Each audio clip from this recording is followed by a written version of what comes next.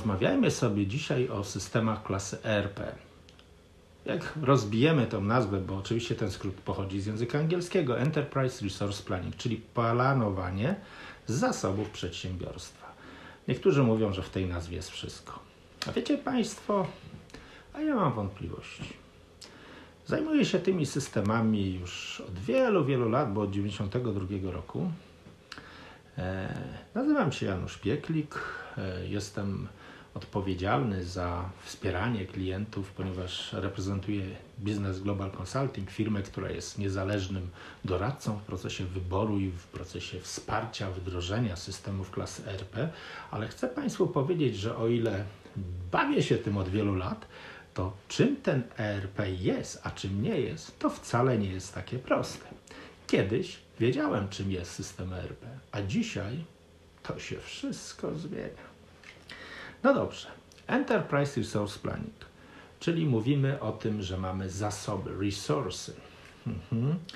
No tak, no ale zasobami to można zarządzać w środkach trwałych, prawda? Tam jest ewidencja środków trwałych, można je amortyzować, wyceniać podatkowo, bilansowo albo według MSR-ów i tak dalej. Bardzo, bardzo różnie możemy wiedzieć w danym momencie, e, jakie są odpisy i tak dalej. No tak, ale czy to jest wystarczające, żeby zarządzać zasobami? Hmm, chyba nie, bo to jest tylko takie ujęcie księgowe, a ja bym na przykład chciał wiedzieć, jeżeli tym zasobem jest na przykład budynek, to chciałbym wiedzieć, jakie prace, w jakim czasie muszę zrobić, albo jeżeli ten budynek pomaluję, coś dobuduję, zwiększam jego wartość, e, chciałbym wiedzieć coś więcej, albo kiedy są przeglądy, remonty, bo tam jest ogrzewanie, oświetlenie, różne rzeczy. No, no ale tego nie znajdę w środkach trwałych. Czyli ten moduł środków trwałych mi nie odpowie. Tak samo podobnie tam mogą być elementy nie tylko te wysoko cenne budynki, maszyny, pojazdy, jakieś tam rurociągi, środki transportu wewnętrznego, taśmociągi i tak. E, ale mogą być również te nisko cenne, których czas użytkowania jest poniżej roku i wartość poniżej 3,5 tysiąca złotych, więc one mogą być na takiej innej ewidencji, a mogą być wręcz dla mnie istotne produkcyjnie. Wiertła, jakieś tam wiertarki tanie, jakieś tam nasadki, klucze, śrubokręty, których być może jest bardzo, bardzo dużo, że prowadzę narzędziownie, ale w tych środkach trwałych tym nie zarządzam. Więc chyba, żeby zarządzać tymi resursami, sam moduł środków trwałych mi nie pomoże. W ujęciu księgowym coś mi daje, zgadzamy się, ale czy to jest zarządzanie? Na przykład to jest elektrownia, gdzie chcę zaplanować remont, remont jakiegoś kotła.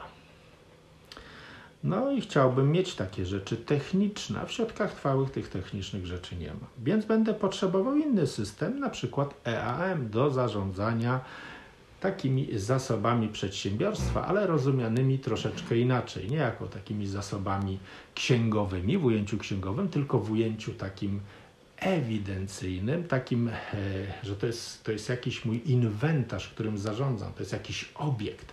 Ten obiekt może być stały, może być przestawny w przypadku samochodu, ale ja nim zarządzam. Tam mogą być remonty, przeglądy, jakieś rzeczy gwarancyjne. E, to mogą być znaczące koszty, bo w przypadku, kiedy to są przedsiębiorstwa zasobochłonne, jak kopalnie, huty, elektrownie, stocznie, to naprawdę remonty takich urządzeń mogą być bardzo, bardzo kosztowne.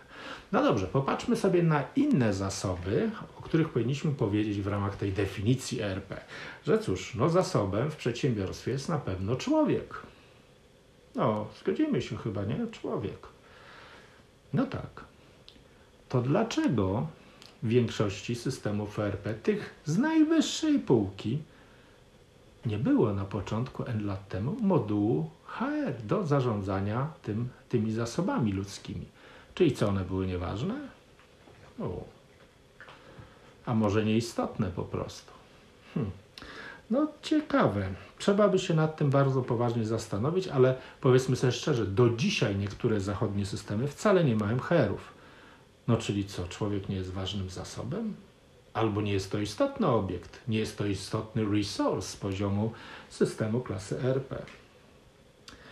No, można tak dalej. Mamy maszyny, ale chyba ewidencja księgowa to trochę za mało, więc, więc mamy to zarejestrowane w produkcji, w systemie utrzymania ruchu, być może w innych systemach. Mamy narzędzia, które mogą być w systemach narzędziowni. Mamy środki transportu, które mogą być w systemach klasy TMS, czyli Transport Management System. Mogą być wartości niematerialne i prawne może być dokumentacja, do którą kolekcjonujemy, w, w, bo to też jest poważny zasób, to jest wiedza, tak? która jest akurat przechowana w systemach do zarządzania dokumentacją, albo w PLM-ach, albo w PDM-ach. No i w końcu też może być coś jeszcze gorszego, coś, co przysparza dzisiaj wszystkim duże trudności, czyli kapitał ludzki, który staje się podstawowym i fundamentalnym zasobem, którym nie tak łatwo się już zarządza, a już na pewno nie modułem środków trwałych. No tak, widzicie Państwo, że tych zasobów trochę może być. Ja tak trochę tutaj przewrotnie mówię, że być może ten system ERP tymi zasobami trochę wybiórczo zarządza i wcale nie tak kompleksowo, jak czasami ktoś mówi, że w tej nazwie jest już wszystko. A ja widzę, że chyba nie jest wszystko. No dobrze, ale zbliżmy się do trochę innej definicji, do do takiej, takiej żeby, żeby troszeczkę wyjaśnić, czym to ERP jest, bo chciałem Państwu powiedzieć, jak ja to rozumiem, e, jak to kiedyś rozumiałem, e, ponieważ nie ma takiej sztywnej definicji. Jeżeli Państwo otworzycie internet, zobaczycie wiele różnych definicji, co to jest ERP, rozczaruję Państwa, każda nic nie mówi.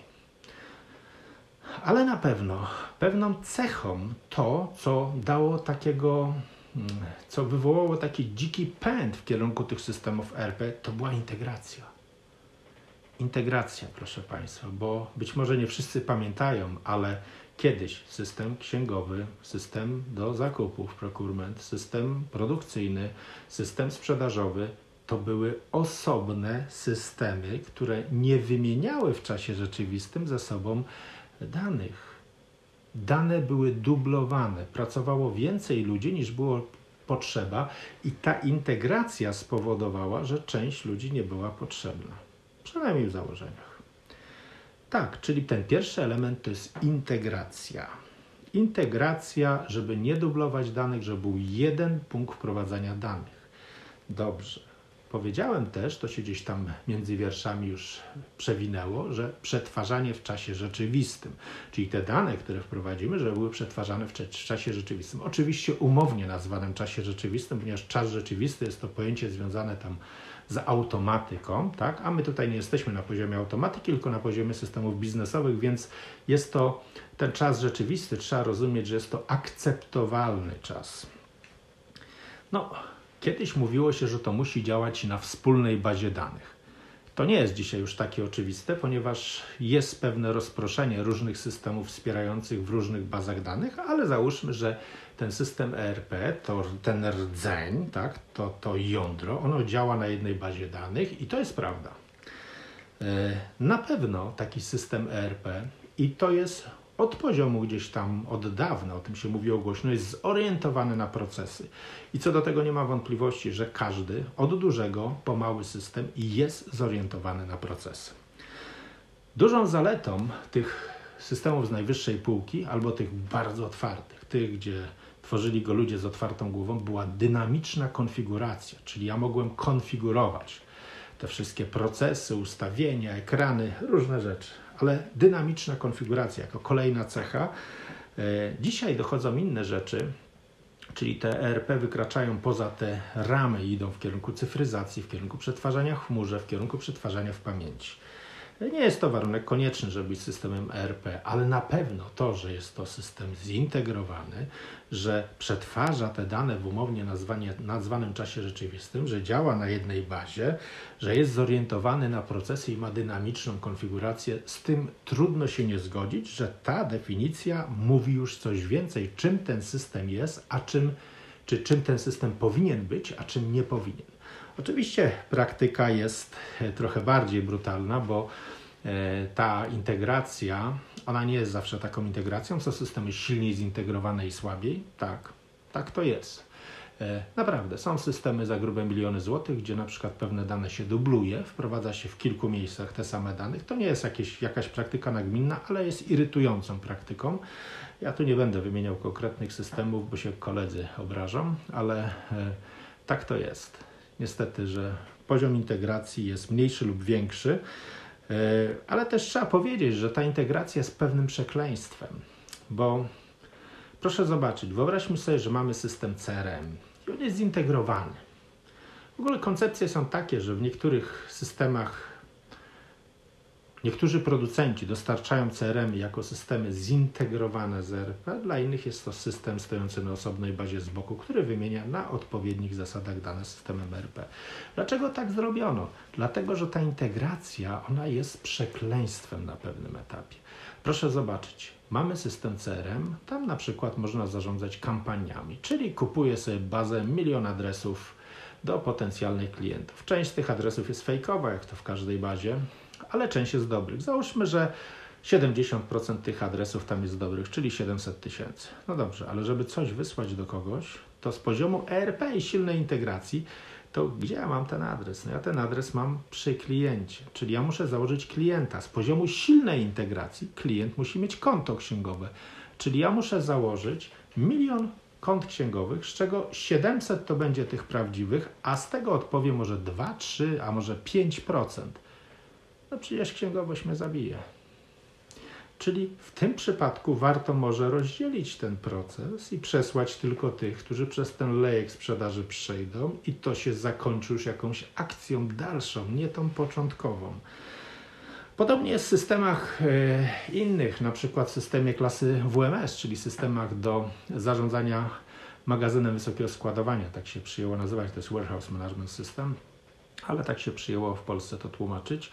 E, ten system, systemy typowe, systemy material management, czyli takie z gospodarki magazynowej, mówią, że mamy jakiś zapas na magazynie, ale nie mówią gdzie. A WMS mówi gdzie, na tej półce, na, w tej alejce, na tym poziomie e, i tak dalej. E, jest to oznakowane i tak dalej. No tak, ale jeżeli pojedziemy i tam tego nie ma, to jest obok, no to powstają różne dziwne rzeczy, różne rzeczy typu, że nie znalazłem tutaj, wcale tego obok tu nie widzę, może znajdę to za tydzień, więc powstają różnego rzeczy, różnego rodzaju rzeczy typu na przykład y, inwentaryzacje, które mają nie mają pokrycia tak naprawdę, bo ten materiał gdzieś jest, tylko on nie jest w tej lokalizacji, bo ktoś go źle odłożył. Podobnie, jeżeli przesuwamy z półki na półkę, to niektóre systemy potraktują, że to są przesunięcia magazynowe, czyli mamy puste transakcje księgowe. No tego też nikt nie chce, więc w takim przypadku, zwłaszcza dla takich systemów jak WMS, gdzie to są systemy zdarzeniowe, no to w tym momencie lepiej by było, gdyby może te wszystkie rzeczy nie przechodziły tak od razu do, tych, do tej księgowości, no bo inaczej księgowość nie będzie wiedziała, co z tymi transakcjami zrobić, bo materiału nie ma, znalazł się, aha, ale to jednak to nie jest ten, no może być tego bardzo dużo. Także ta integracja też może mieć swoje pewne gorsze, gorsze rzeczy. Hmm, no dobrze. Yy, powiedzmy sobie, że jeżeli ten system nie jest taki zintegrowany, to ta architektura tego systemu się komplikuje i są skomplikowane procesy wymiany danych i to też nie jest dobre. Natomiast idea systemu zintegrowanego była taka, żeby te interfejsy zminimalizować.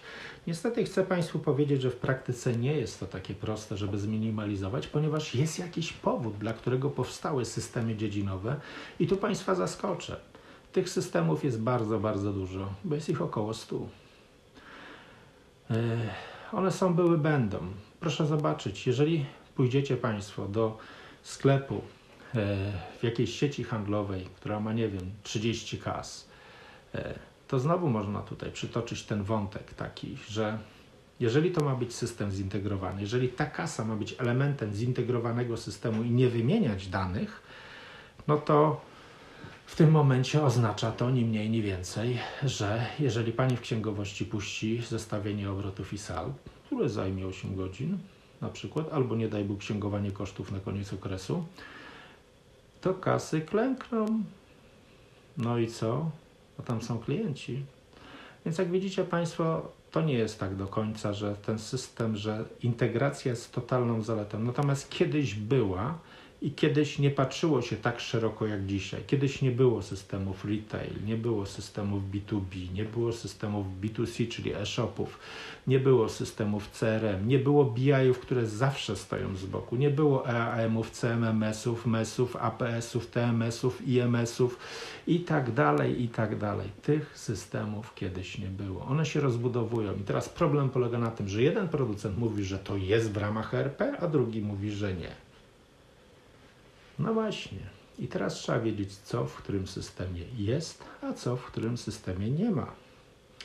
Tak to niestety wygląda, więc ta definicja, o której powiedziałem, że zintegrowany przetwarza transakcje w umownie nazwanym czasie rzeczywistym, działa na jednej bazie, e, ma do tego ukierunkowanie na procesy i jest, dynamiczna konfiguracja ma ręce i nogi ale niestety życie pokazuje, że tak słodko może nie być i w ramach danych producentów ta definicja może się zacierać. Więc musimy mniej więcej wiedzieć, jak rozumiemy to ERP, ale ta definicja ciągle się zmienia. Ciągle się zmienia. Proszę Państwa, jeszcze chciałbym powiedzieć, że te systemy ERP, one się dzielą na różne półki, tak to się mówi. Są systemy z wysokiej, średniej, niskiej półki, no ja tak Państwu powiem, że w świecie te wysokie półki to jest oczywiście SAP, to jest Oracle, to jest Dynamics Microsoftu, no i to są część rozwiązań Infora.